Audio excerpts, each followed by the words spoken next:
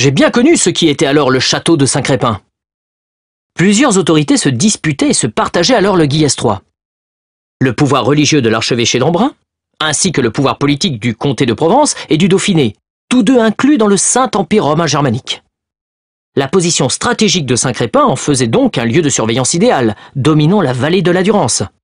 Ce n'est donc pas un hasard si le bourg installé sur ce rocher a longtemps été appelé Malborgé.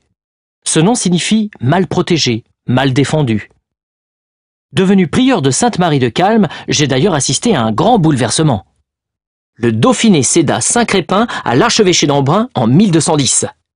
Je venais donc souvent pour régler des affaires avec le seigneur Pierre Rostin, chargé de la gestion des nouvelles terres de l'archevêque. Hum, c'était un fiefé coquin. Il essayait de m'enivrer avec le bon vin clairé qu'on faisait ici, comme à Saint-Clément. Un jour que je suis reparti un peu pompette du château, j'ai peut-être oublié ma main dans le dédale des rues du village. Saint-Crépin étant très convoité, les habitants se sont en effet regroupés tout autour du château pour se protéger, formant ici un bourg castral à la forme atypique. Les rues sont enroulées sur elles-mêmes, comme une coquille d'escargot. Mais le piton rocheux, le château et les remparts n'ont pas suffi à épargner le village. Pendant les guerres de religion, catholiques et protestants l'occupent successivement. Le duc de Savoie le menace lorsqu'il se rebelle contre Louis XIV en 1692. Saint-Crépin, longtemps ballotté par l'histoire, en garde aujourd'hui encore les traces.